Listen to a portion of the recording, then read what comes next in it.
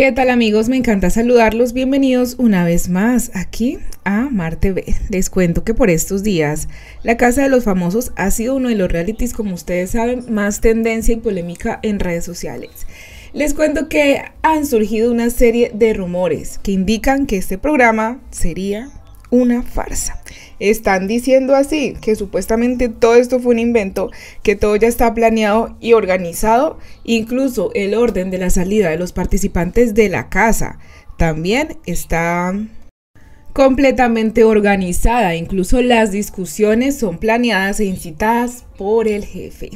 Esto están diciendo en redes sociales y podemos sospechar que puede ser cierto, pues en varias ocasiones hemos visto peleas que son sumamente eh, ridículas, por bobaditas se encienden y se agrandan, desde la pelea de Karen con Omar Murillo hasta la pelea con Pantera y Marta y Julián en la cocina, lo que vimos recientemente en el exilio y que Melfi además dijo que no le importaba que el jefe lo regañara si no le contestaba a Marta, porque se notó que con esto quiere decir que ellos los incitan a hacer este tipo de peleas y que todo sería una farsa y acá la gente en redes sociales matándose, comentando, enfrentándose unos a los otros y también atacando a las personas que hacemos contenido por algo que es planeado.